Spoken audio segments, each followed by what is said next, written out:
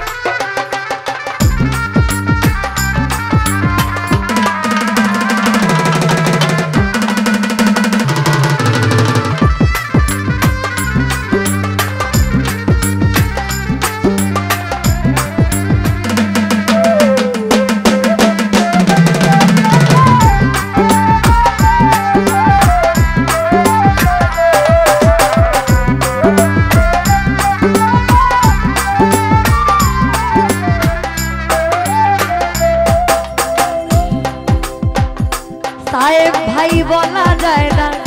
কারও সাথে